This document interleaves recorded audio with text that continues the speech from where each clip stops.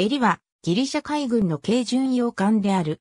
艦名の由来は第一次バルカン戦争中のギリシャが勝利したエリの海戦にちなむ。1910年代のギリシャ艦隊とオスマン艦隊の対比図。ギリシャ艦隊の巡洋艦勢力がないことがわかる。図本艦は、もともとは、新国海軍がアメリカ合衆国に発注した防護巡洋艦、ヒオートリであった。だが、侵害革命で注文はキャンセルされた。そこへ1914年にアメリカ合衆国のニューヨーク造船所で竣工したところをギリシャが買い取った。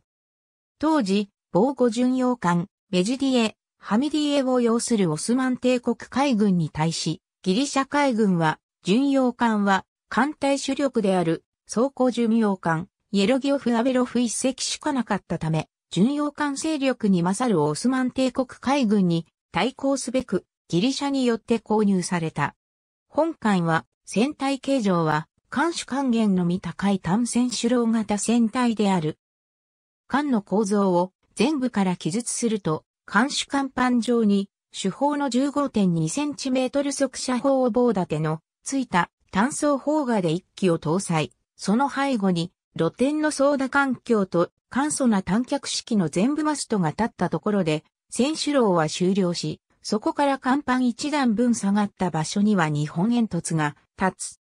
その周囲には竹の低いキセル型の通風塔が立ち並び、原則部は関西艇置き場となっており、関西艇は2本1組のボートダビットが片弦2組ずつ計4組で運用された。左右の原則甲板上にはスポンソンが2箇所設けられ、そこ 20.2cm 速射砲が単装砲画で片弦2機ずつ計4機が配置された。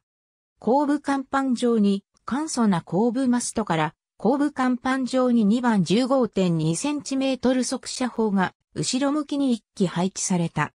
1920年代の改装で環境の大型化と前後のマストは撤去されて全部マストのみ三脚型のものが建てられた。この時に煙突が若干太くなり、マニボートクレーンが片弦1機ずつ計2機が設けられた。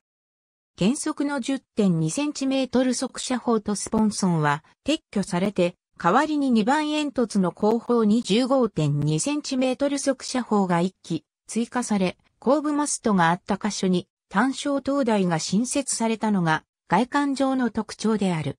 襟は第一次世界大戦や木戸戦争に参加した。